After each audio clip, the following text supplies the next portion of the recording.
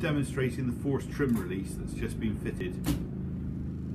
in the P in the part task trainers at RAF Shawbury.